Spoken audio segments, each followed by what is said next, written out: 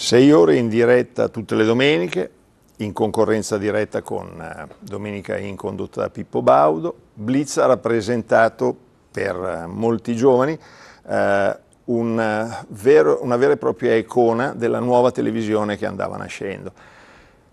Eh, Gianni Minà eh, ebbe la capacità di portare in televisione personaggi straordinari. Eh, le puntate erano grosso modo monotematiche, e su ogni tema eh, Minà e la sua redazione avevano la capacità di portare in scena dei personaggi davvero significativi. Si parlava di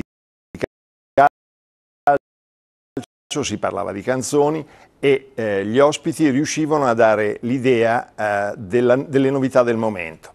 Eh, memorabile fu una puntata in cui eh, Minà portò in studio Mohamed Ali e subito dopo lo portò anche, lo si vede poi nelle, nelle settimane successive in televisione queste scene lo portò da Papa Giovanni Paolo II che era un grande appassionato di box.